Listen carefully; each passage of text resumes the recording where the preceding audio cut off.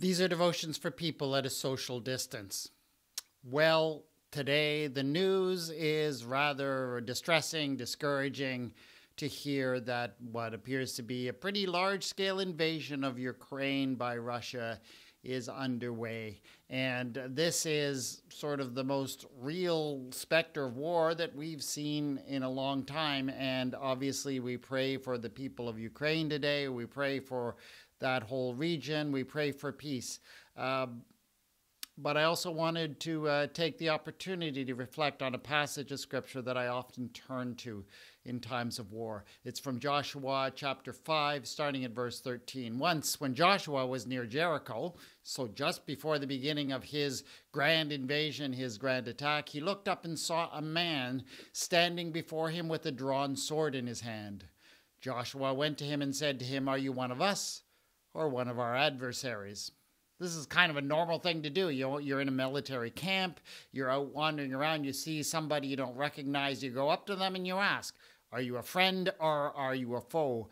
Ah, but the answer is rather stunning. He replied, Neither, but as commander of the army of the Lord, I have now come. So, uh, on the eve of a battle, on the eve of a war, God shows up in the Israelite camp. The answer, the question that, that is raised, is the question is always raised on the eve of, eve of war, right? Are you with us or against us? Are you on our side, God? And uh, I know the answer we always reach for is yes, God is on our side. God has to be on our side. We are in the right. And I know there are people in Russia, maybe especially Putin, who is saying that right now. There are definitely people in the Ukraine who are uh, reaching for God and God's support, understandably, of course. But the answer is neither.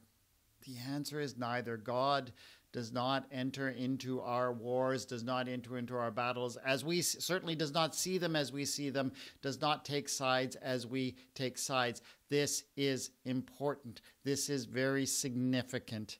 And uh, when we assume God to be on our side, we fail to step back and see the larger picture of, of the agendas that God has. And, and the agendas God has is for the people, is for uh, for for what is right and just and good, is often to uh, to opt for the side of those who are most weak in this battle, in this situation.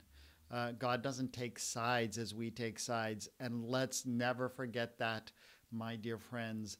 Lord our God, we pray for the people in the Ukraine, especially who are in a very, very vulnerable position we pray for all who are caught up in war and violence today.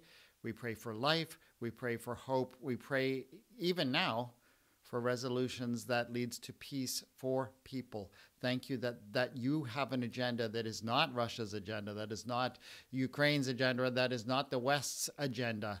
That you have a, an agenda. Let us be on your side and not seek to to find out whether you're on our side. Amen.